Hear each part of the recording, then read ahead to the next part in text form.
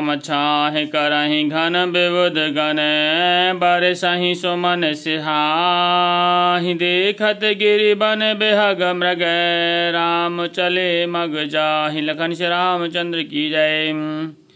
रास्ते में बादल छाया करते हैं और देवता फूल बरसाते हैं और सिहाते हैं। पर्वत वन और पशु पक्षियों को देखते हुए श्री राम जी रास्ते में चले जा रहे हैं। श्री राम सीता लखन सहत रघुराई, गाँव निकट जब निक सही जाई। सुन सब बाल वृद्ध नर नारी, चलही तुरत ग्रह काजु बिसारी।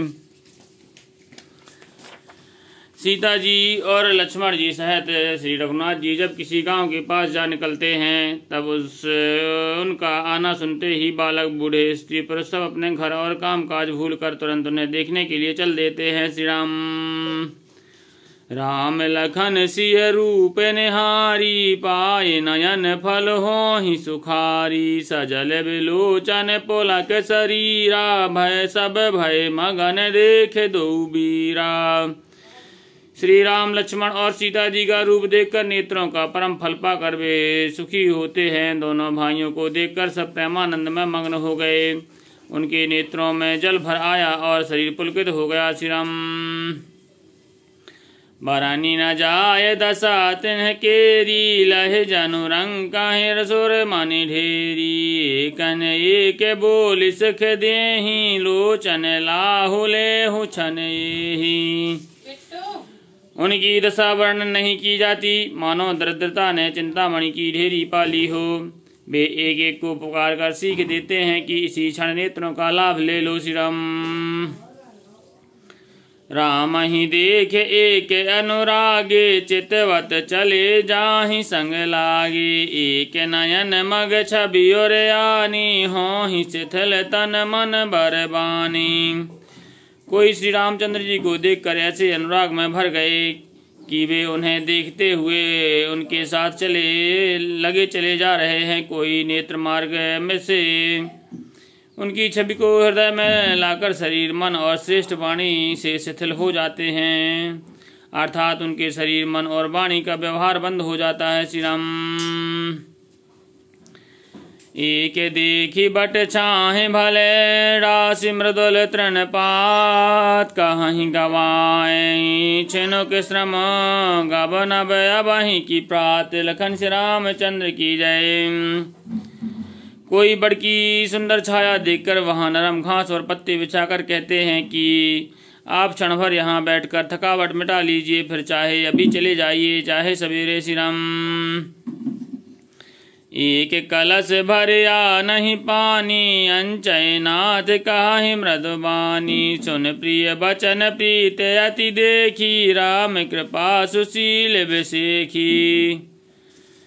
राम कृपाल सुशील विशेखी, कोई घड़ा भर कर पानी ले आते हैं और कोमलवाणी से कहते हैं, हे नाथ आचमन तो कर लीजिए उनके प्यारे वचन सुनकर और उनका अत्यंत प्रेम देखकर दयालु और परम सुशील श्री रामचंद्र जी ने जानी श्रमत सी मन माही, घर के बिलम्ब कीन बट छाही। मोदत नारी नर देख शोभा रूप अनूप नयन मनुलोभा मन में सीता जी को थकी हुई जानकर घड़ी भर बड़की वृक्ष में विश्राम किया। स्त्री पुरुष आनंदित होकर शोभा देखते हैं।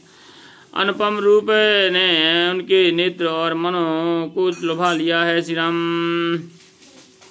इकटक सब सुहि चहूरा राम चंद्र, मुख चंद, चकूरा, तरुण तमाल बरन तनु सुहा, देखत कूट मदन मनुबूहा सब लोग टकटकी लगाए श्री रामचंद्र जी के मुख चंद्र को चकोर की तरह है। देखते हुए चारों ओर सुशोभित हो रहे हैं श्री रामचंद्र जी का नवीन तमाल वृक्ष के रंग का।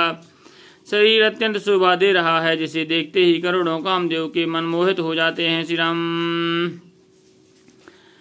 दामन बरन लखन सुठनी के नख सिख सुभग भाव तेज़ी के मुनि पट कटन कसे तूनी रासु हही कर कमलन धनु धी तीरा बिजली के से रंग के लक्ष्मण जी बहुत ही भले मालूम होते हैं, वे नख से शिखा तक सुंदर हैं और मन को बहुत भाते हैं। दोनों मुनियों के बलकल आदि वस्त्र पहने और कमर में तरकस कसे हुए हैं। कमल के समान हाथों में धनुष बाण शोभित हो रहे हैं। श्री राम। जटा मुकुट शीशन सुभग और भुज नयन विशाल। शरद परब विधु बदन बर लसत स्वेद कन जाल। लखन श्री राम चंद्र की जय, पवन सत हनुमान की जय, गुसाई तुलसीदास की जय, बोलो भाई सब संतन की जय।